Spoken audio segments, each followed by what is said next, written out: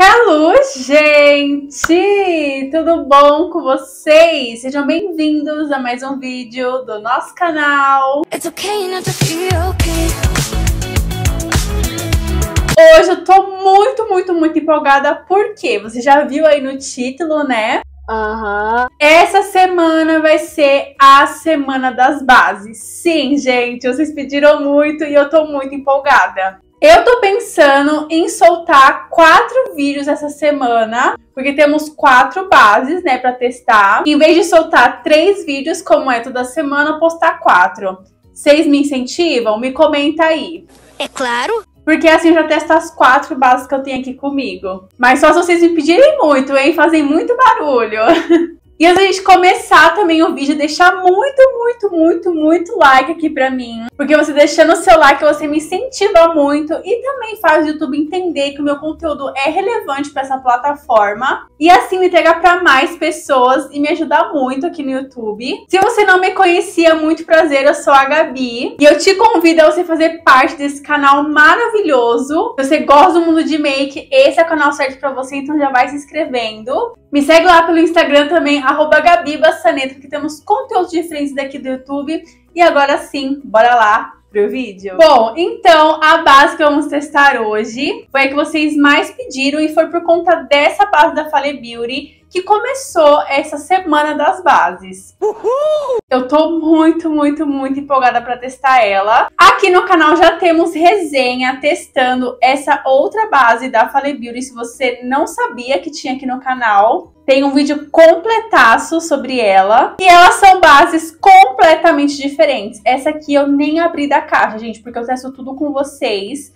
A cor das duas é a cor 3. Eu pensei em pegar na cor 2 a fluida, porque essa 3 fica um pouquinho escura pra mim, mas eu prefiro um pouquinho mais escuro do que mais clara. Essa base aqui, gente, tá esgotada na Shopee, assim. As primeiras cores, tudo tá esgotado. Eu achei na loja da Fashion Makeup. Ela custou, se eu não me engano, 17, 18 reais. E a faixa de preço que eu vi ela sendo vendida é 17, 25. Ela vem nessa embalagem aqui, bem simplesinha, né? Aqui ela fala que é da linha Pro, não é testada em animais, é vegana e oil free. Base líquida, ativos hidratantes, média cobertura e profissional, textura leve e fina. Vem 30 ml e é basicamente isso que ela promete. Eu vou abrir aqui, ó. Então, essa é a base. Eu achei muito legal porque ela vem tudo escrito aqui na embalagem da base, o que vem aqui também. Então, você pode jogar fora, porque você vai ter tudo aqui na própria base. Eu achei ela muito, muito, muito parecida com a embalagem da Natura. Eu vou tentar achar uma foto e colocar aqui para vocês. Essa aqui parece da Boca Rosa e essa aqui da Natura.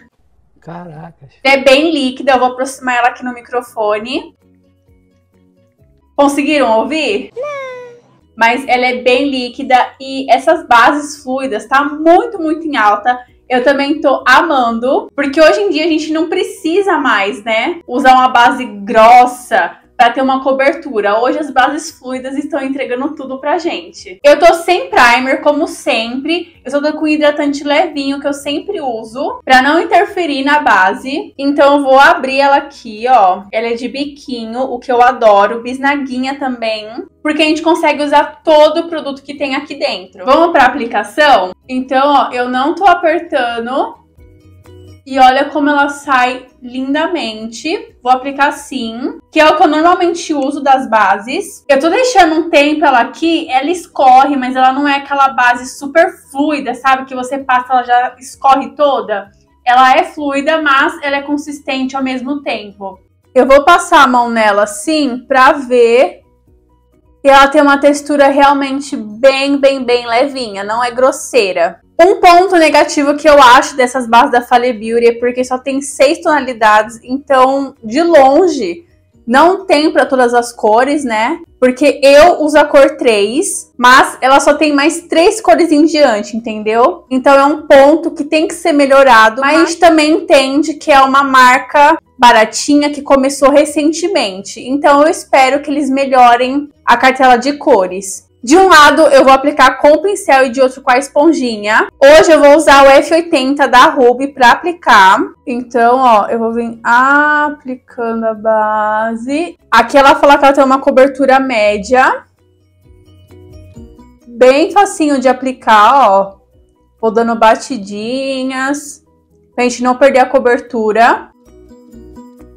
Aplicar aqui em cima do olho também pra gente ver a cobertura. E assim, sem ela secar, porque ela ainda tá úmida, né? Ela tá brilhosa. A cor dela fica perfeita pra mim. A outra, ela fica um pouquinho mais escura. Vamos ver se essa daqui ela vai dar uma sentada, se ela vai oxidar. Aqui na base ela não fala se ela é mate, se ela é hidratante, só fala que ela tem ativos hidratantes. Então, o que eu tô esperando dela é que ela não fique uma base super seca e sim soft matte. vou dar um tempinho pra ela sentar no meu rosto, mas eu acho ela muito bonita, gente. Olha esse viço. Sério, eu adoro base assim. E eu tô com manchinhas no meu rosto, ó, bem aqui vocês conseguem ver. E eu achei sim que ela tem uma cobertura média, tá bom? Uma cobertura bem bonita. Uma eternidade depois. Deixei ela sentar um pouco no meu rosto. E, gente, que base bonita. Olha, olha esse antes e esse depois. Eu estou chocada, que base bonita. Eu tô impressionada como que essa marca Fale Beauty tá acertando nas bases. Até agora, né? Vamos ver os testes ainda, mas a outra base me surpreendeu muito. Olha o acabamento dessa base, gente. Ela não secou, deixou seca a minha pele. Eu consigo ver um vício nela. Ela não me incomoda, não sinto que eu tô de base. Aplicando a mão assim, eu sinto ela no meu rosto, ó. Ela deu uma leve transferidinha. Então, acredito que ela não seja uma base mate. Vou chacoalhar mais, que é uma base fluida. Uh, gente, vou aplicar desse lado aqui, ó. A minha esponjinha tá úmida e eu vou vir dando batidinhas. Normalmente a esponja ela suga produto, né? Então a cobertura fica mais levinha. Mas bem fácil de espalhar, gente. Olha isso aqui. Base aplicadíssima e olha como ficou bonita, gente. Eu senti que ela ficou um pouquinho mais leve do que desse lado aqui. Aqui eu tô com uma espinha recente. Ela cobriu a minha espinha, né? As minhas manchinhas, ó. Então, realmente ela tem uma cobertura média o que me agrada muito essa cobertura média. Esse lado aqui já tá um tempinho aqui, eu vou aplicar minha mão de novo. Eu ainda sinto ela, só que menos do que antes. Ela transfere um pouquinho também, ó, aqui. Então, é uma base meio que hidratante, soft matte no pé ali no hidratante. Mas olha como tá a pele. Ela não tá mais tão brilhosa como antes, né? E desse lado aqui a gente acabou de aplicar. E não ficou também tão brilhoso como com o pincel. Mas sério, eu tô chocada com essa base, gente. Que base bonita. Aqui o meu pescoço e o meu maxilar, ó. Vocês acharam que ficou boa a cor? Na luz parece que fica tudo perfeito, né? Mas eu sinto que ela ficou um pouquinho mais escura igual essa daqui. Mas, gente, nada demais. Prefiro que fique assim do que mais clara. Mas que base bonita, gente. Olha, eu tô falando aqui, eu tô olhando toda hora no espelho e a base tá muito bonita. Eu passo a mão dos dois lados e os dois lados estão do mesmo jeito. Não tá seco, esturricado, mas se eu aplicar a mão assim, eu sinto bem pouquinho ela na pele. Vamos para a segunda camadinha? Eu vou fazer como se fosse um corretivo. Vou aplicar essa quantidade aqui, ó, que foi bastante. E eu vim com o pincel para dar cobertura mais no centro do rosto. E olha como ela rende, ela rende muito. Deu até para aplicar na testa, ó. Rendeu demais, gente. Agora sim ficou um patamar a mais. Ela aceitou a segunda camada, ela não abriu. Ela ficou linda, gente. Olha que lindo. Agora, desse lado com a esponjinha aqui, ela secou e o pincel com certeza deu mais cobertura. Bem aqui, ó, ela ficou com menos cobertura porque, como eu disse, né, a base é sugada um pouco pela esponja, mas com o pincel achei ela incrível e é como eu aplico. Eu né? aplico com o pincel, depois venho dando batidinhas com a esponjinha só pra sentar. E eu tive a impressão também que com a esponjinha ela ficou mais seca do que com o pincel. Achei uma base muito, muito, muito bonita, gente. Sério, me surpreendeu muito. Eu tenho bastante poros, né? E ele não marcou, não entrou nos meus poros assim, ficou manchado, sabe? Espalhou super, super, super bem. Eu achei que ela acumulou bem pouco, ó. Aqui é onde eu tenho a minha dobrinha do olho. Aqui também. Aqui, ó, com duas camadas ela acumulou mais. E aqui, ó, com uma camadinha, praticamente nada. Fala, Beauty! Você tá arrasando nas bases, hein? Agora vamos ver na transferência com água e na duração. Peguei papel higiênico aqui, ó. Vou primeiro desse lado, que foi com uma camadinha, ó, papel limpinho sem corte, ó. Ela nem gruda na pele, ó. Engraçado, gente. Eu achei que ela fosse transferir. Vou aplicar aqui no olho, no nariz, no queixo. Ó, gente, bem pouquinho. Bem pouquinho aqui, ó. Vocês conseguem ver? Talvez vocês nem consigam ver, gente, ó. Mas foi muito, muito, muito pouquinho. Caraca, tô surpreendida, porque eu achei que fosse transferir horrores. Virei o ladinho e agora vamos para esse lado aqui com duas camadas, ó. Também gruda um pouquinho mais. Gente, quase nada também. Chocadíssimo, ó. Vocês conseguem ver? Praticamente nada. Olha! Gente do céu! Nossa! Por mais que ela seja fluida, e normalmente essas bases elas acumulam um pouco, entram nas linhas, né, nas dobrinhas, ó. Não tem nada. Gente, tá belíssima, sério. Ó. Belíssima. E por mais que esse lado aqui seja com duas camadas, eu tô achando até mais bonito do que esse lado aqui com a esponjinha, gente. Que doido, né? Então, teste de transferência super aprovado. Agora a gente vai pro teste da água, que eu não borrifo, vocês sabem, né? Que me acompanha, sabe que eu só jogo umas gotinhas assim. Porque, gente, é muito difícil a gente tacar, né, água na cara assim, no dia a dia, ou pegar uma chuva e não cobrir o rosto. E a base também não fala nada sobre isso. Então, gente, eu vou tomar muito cuidado que meu microfone tá aqui embaixo e ele é novo. Então, ó, algumas gotinhas.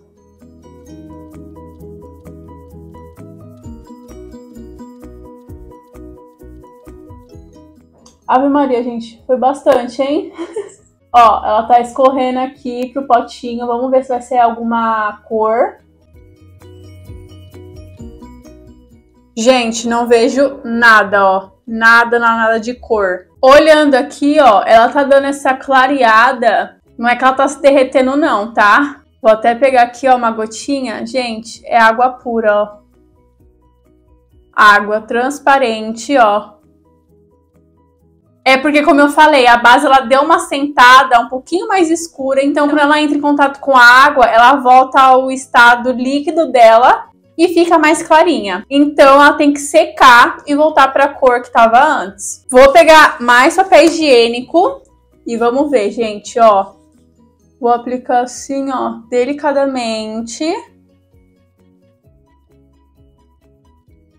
Praticamente nada, ó. Vocês conseguem ver?